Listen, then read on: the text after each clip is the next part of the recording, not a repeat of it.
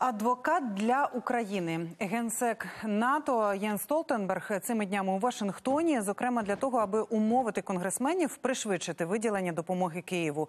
І перші повідомлення щодо цього вже пролунали від першої особи альянсу і від держсекретаря США, з яким він зустрівся. Наш спеціальний кореспондент у Сполучених Штатах Дмитро Анопченко розкаже більше. Найважливіше, що і переговори Столтенберга і Блінкіна, і взагалі цей е, Вашингтонський візит е, глави альянсу, він дуже сильно наповнений українськими питаннями, українською тематикою. Ну, наприклад, е, велику частину вівторка, якраз генсек НАТО проведе тут у конгресі, і говоритиме з конгресменами про Україну, про допомогу, про новий пакет.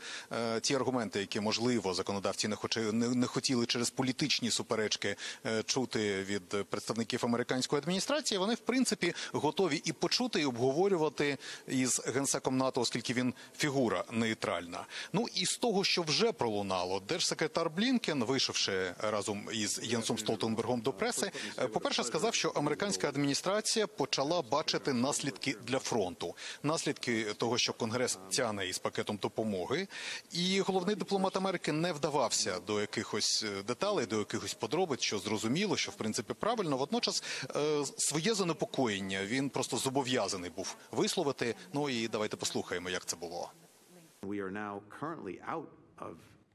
У нас зараз закінчилася військова допомога, яку ми надавали Україні, і ми навіть бачимо деякі реальні свідчення того, що це означає для розвитку подій на полі бою. Водночас, якщо США не виконують своїх зобов'язань, то і європейцям і іншим партнерам стане складніше продовжувати робити те, що вони робили. Блінкен наголосив на головному принципі. Він якраз каже, що двері НАТО на думку Америки, на переконання Америки залишаються для України відчиненими. Давайте послухаємо. Я думаю, що процес, який ми спостерігали в рекордно короткі терміни, спочатку з Фінляндією, а тепер і зі Швецією, демонструє, що двері НАТО, як і раніше, відчинені, в тому числі і для України, яка стане членом НАТО. Зрозуміло, що є, існує, може виникнути цей так званий фактор Угорщини, але цікаво, дивіться зараз. Е, те, що відбувається із вступом Швеції до НАТО, е, у Держдепі розраховують прямо про це кажуть, що Будапешт незабаром ратифікує заявку Швеції на вступ до альянсу. кажуть, це станеться просто найближчими тижнями. Ну і щодо самого альянсу, це цікаво, це важливо. Столтенберг під час е, цієї зустрічі з Блінкеном озвучив в принципі основний аргумент, який він тими тими чи іншими словами в тих чи інших формулюваннях буде повторювати під час всіх зустрічей тут у Вашингтоні, зокрема і в Конгресі. І він пояснюючи, каже, що е, меседж, який він прагне донести до американських політиків, що США мають діяти не лише для України, не лише для нас з вами, а і мають продовжувати допомогу Києву для того, щоб знищити військові потужності, військові можливості Росії, для того, щоб підвищити, як він каже, ось тут процитую е, можливості і підвищити безпеку НАТО в цілому. Тобто він каже, і ціна питання набагато вище, і завдання куди більш амбітне. Теж пряма мова, будь ласка.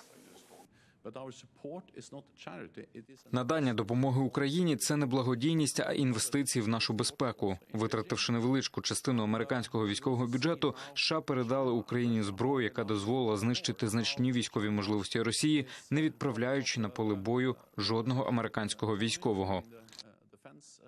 Ну і ще з важливих аргументів, які вже наводить і збирається ще наводити в розмові з конгресменом Столтенберг. Він якраз каже, що будь-яка навіть маленька перемога Росії вона би дала дуже хибний сигнал ворогам Америки. Він каже, що е, цей сигнал могли би почути, могли би використати і Іран, і КНДР, і, наприклад, Китай для того, щоб всерйоз задуматися щодо е, нападу на Кита на Тайвань, це могло би його наблизити, і тому настільки важливими є асигнування.